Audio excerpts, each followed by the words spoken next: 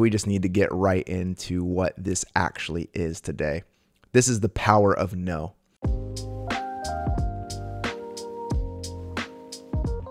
And if you're anything like me, you've lived a lot of your life as a yes person. Uh, if you're into human design at all, if you have an unidentified G center, then you are always sort of looking elsewhere for your identity. Therefore, you're saying yes to all of the things around you to help bring definition in your life. And here's the thing, too. Oftentimes, we say yes to an opportunity that's at hand, really because there's kind of a fear in the background that another opportunity is not going to come that we can only see as far as where we're at today. And we look around at all the opportunities that we have and we think that those are our only options. And so we say yes, we say yes to opportunities that may not really be for us because we think that that is all there is. We think that no more opportunities are going to be coming around the corner we fall into an illusion that this is the only set of connections and network that I have and will ever have. And it's simply not true. And so the power of no signals to the divine, signals to the universe that I don't like the way that this was deck this this deck was shuffled. I don't I don't I don't like the hand that's dealt right now. Reshuffle it. Send me something else. And whenever you have the power to say no, to say, nah, I appreciate it, but this really isn't all it, and you're able to just think about it a little bit more and not be so quick to give your yeses away, God will reshuffle the deck and give you another hand to play and say, Here, how does this one work for you? And so, no is the confidence of saying, More opportunities are coming and on the way. I don't have to be boxed in and limited to what is right now. I know that more things will be coming as soon as tomorrow. And it becomes this sort of optimistic thing. Because then, if we have the confidence to say no, we open ourselves up to what wants to be revealed to us. And we live with a sort of optimistic expectancy then that there is always new and good things coming. Because a lot of times we say yes out of a scarcity mindset, right? If I don't grab it now, it might be gone forever. And that is not the abundance of the universe. That does not match the pattern of the benevolent divine presence. And so, if we cling to, with our yeses, all of the things that we know are not necessarily for us, then we will not have a yes to give whenever that opportunity then comes. More on that at a future note in just a moment. Don't want to get ahead of myself here. But no creates confidence. No says that I believe more opportunities will come. No says that I know who I am and I know what my gift is to give. Hmm. The ability to say no affirms that I know who I am and I know what my gifts are to give. Because whenever we say yes to something that isn't really right for us, we begin to get this friction happening. And it's because we're a round peg try, trying to fit in a square hole or a square peg trying to fit in a round hole. I don't know how that whole thing goes, but the point is, is there's friction around that because it's something that isn't moving in harmony. And when things don't, don't move in balance and in harmony, it creates friction, it creates discord. And so whenever we end up doing things that we know are not in our gift mix, we can set ourselves up to absolutely deal with friction and frustration and agitation and bitterness. And it can actually ruin the relationship, not only that we have with others, but with ourselves. Because every time that we say yes to gifts and opportunities and things that actually aren't our gifts to give, we betray ourselves. When we give into the non self, out of our scarcity, out of our fear, out of our uh, insecurity of who we are and what could be coming, thinking that this is all that there is, we betray the truth that is within us. And each and every one of us, we are here to come to the awakening of who we are and our unique gifts, skills, abilities, aptitude that wants to flow out of that true self as the divine in the world. That we each contribute to the ongoing healing of the world. And if we don't exercise the power of no, we will be subject to everyone else's agenda. Because everyone else has an agenda for you. And it's conditioned us so much that even our own inner critic, our own inner analyst has its own agenda for us that we think this agenda is what is good and right for us when it's really just an adaptation of all of the stuff that we have allowed to form and shape that agenda from the outside.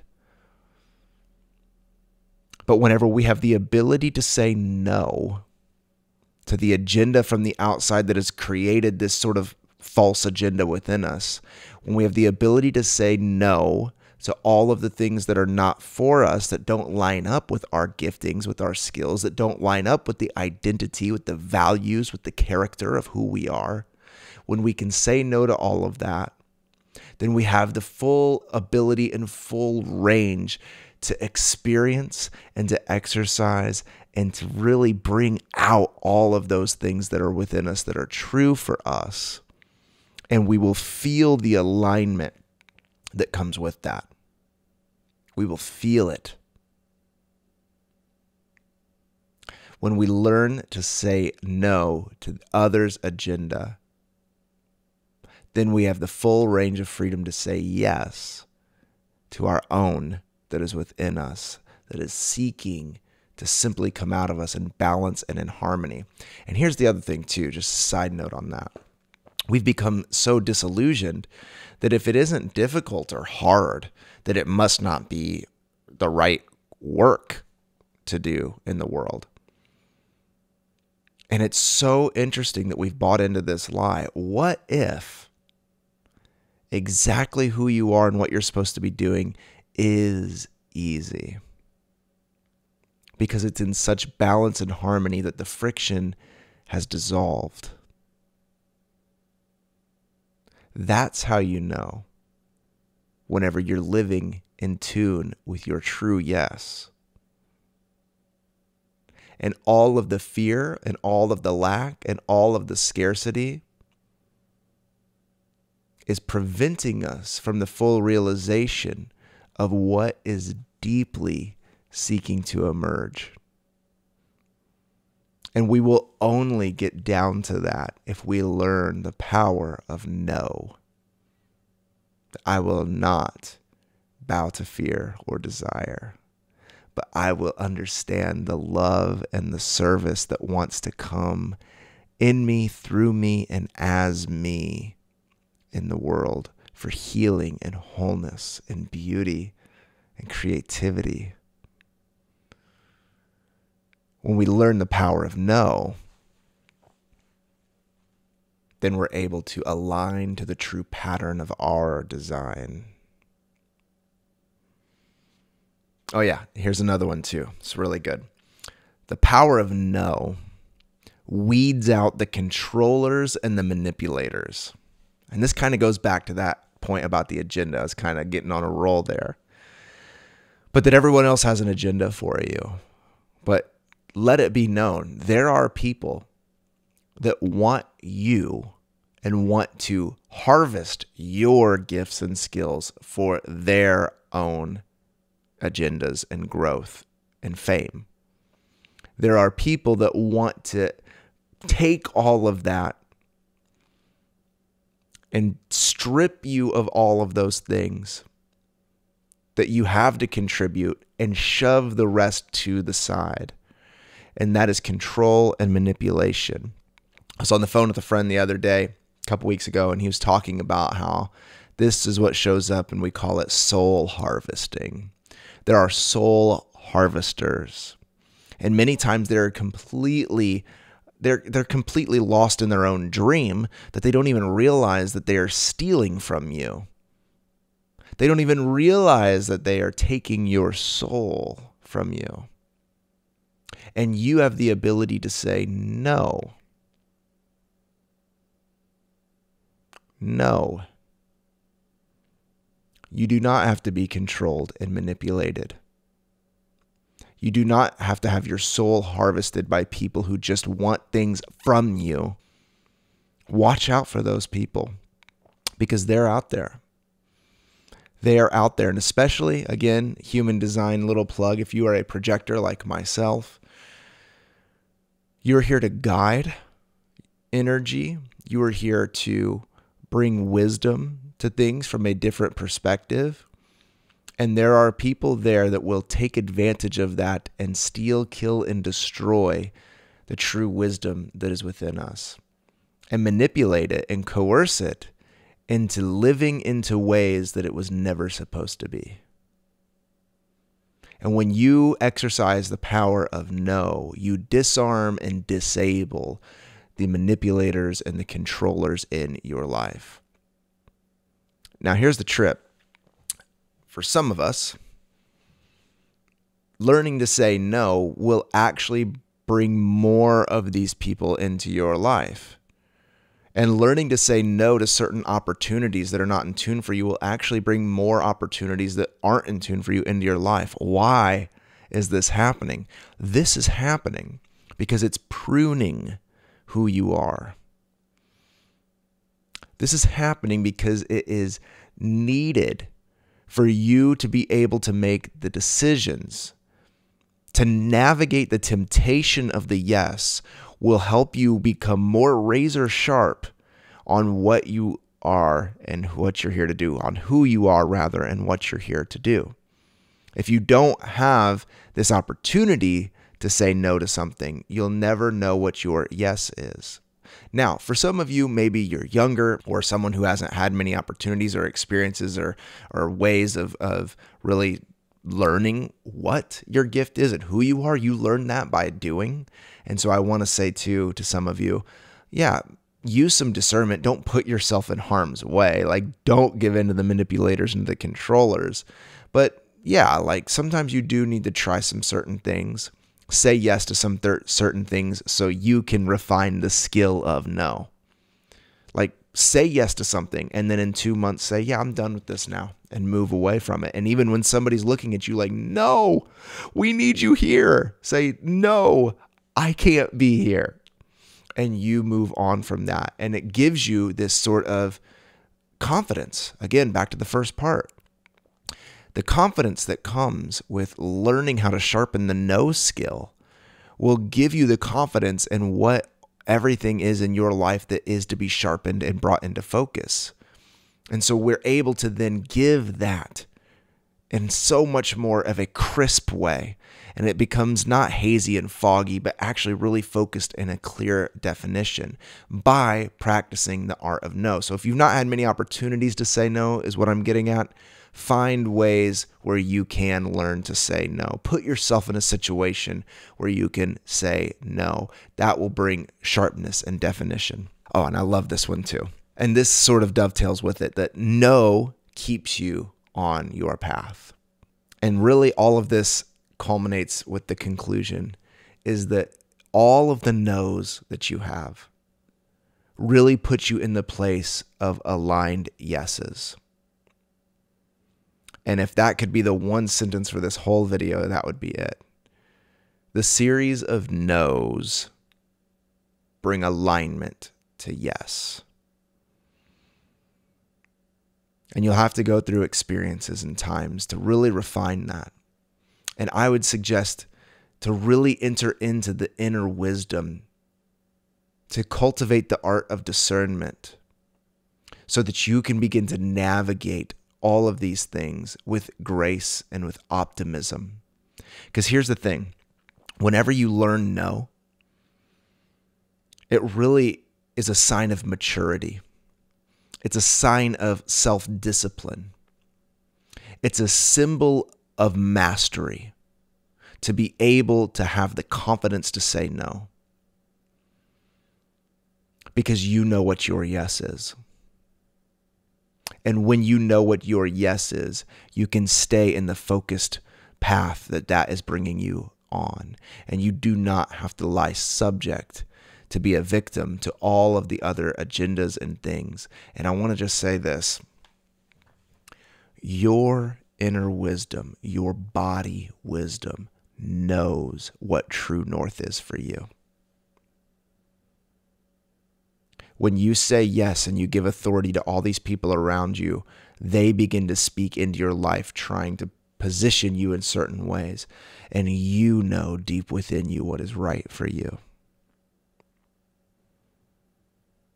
anyone that you give authority to in your life is still only to a certain degree because the guru, the true guru, lives deep in you. Your inner wisdom, your body wisdom, your energetic field knows the truth that is within you. It knows the true yes. And whenever you listen to that, you're able to navigate with such grace. You're able to walk in such wisdom. You're able to love and have compassion for yourself and those around you in a way that you never would have been able to before by the manipulation of all the wrong places that you've said yes to. When you say no to those wrong places, you enter into the space of the aligned yes, and your body knows it vibrationally, you know this. And I just want to say, with this whole yes and no thing, I feel like I've said that a million times in this video. But if you're navigating something and you're discerning something, if it's with yourself or if you're blessed enough to have someone really close to you in your life that doesn't have an agenda for you, like I've, I have a wife that lets me bounce things off her all the time, and it's incredible to have someone like that that you can say, I just want to say what out loud yes or no to this and see what it feels like in my body. And give yourself the space to do that. And think about all the things and say, no, not doing that. And see the resonance in your body to that conclusive statement. And if there's some level of dis ease within you as saying that, then maybe there's something else. There's another paradigm or perspective that's not been seen yet that you need to look from a different vantage point and say, maybe I'm missing it by saying a conclusive no. And you need more time with discernment. What's the rush? Sit with it. On the other hand, you may say a resounding no, that's not it and your body will resonate vibrationally with relief. And that's how you know. Regardless if it looks like a stupid decision or not, say no and move on so that you can open yourself to the opportunities of yes. Yeah. Your body will tell you your vibration will tell you. It will resonate with the truth that is deep within you. And when you learn to trust yourself, when you learn to trust your yeses and trust your nos, it will develop the confidence that you need to navigate all of the jokers that want to align you to their plan. And you will be, be able to begin to live out God's plan through you that the divine is wanting to manifest the divine's self in you, through you, and as you. And if you don't have the power of no, we can walk around in circles and say, I've been here before. I've, I've walked around this mountain before. This looks eerily similar. Yeah, it's because you need to say no and walk down the path that's yours. And the power of no provides that ability and that opportunity for you to do so with confidence. This doesn't mean being arrogant. This doesn't mean flipping people off and being a jerk to people. It means a humble but powerful no so that you can be opened to your yes. Grace and peace, friends. Uh, thank you for joining me here. Send me an email. Uh, love hearing from you, and let's chat down in the comments. See you on the next video.